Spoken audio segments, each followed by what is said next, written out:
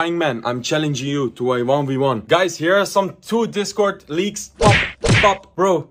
You need some views, bro. You need to play with Hyra. Also, bro, do we have to play on a uh, mini account because you can't handle, handle high trophies, bro? You can't handle it?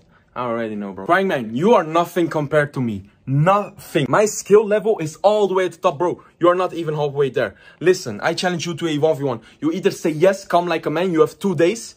You either say yes and come like a man and everyone will see how I destroy you. And if you say no, then you're just a pussy, bro. You are already pussy. Bro, you sound like a depressed bitch, bro.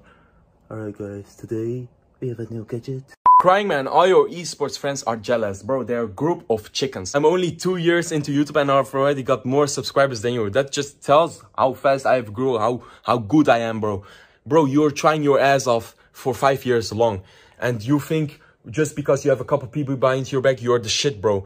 Bro, I don't give a shit about you and your friends, bro. I know who the fuck I am. Crying man, just keep crying, man. SpenLC, you shouldn't be talking, bro. I could punch the living shit out of your fat head, bro. I could punch you so hard you would go back into 2019 World Champion Nova Esports, bro. You, shut the fuck up. Shut your mouth, bro. Shut your mouth. Peace out, guys. As I said, crying man, keep crying, man. They're all pussies, bro they all want to have the same as me, but they can't, you know. It is what it is, guys. It is what it is. For now, enjoy this OP video and see you in the next video. I'm not gonna talk about this guys anymore. Everything they say is full of bullshit.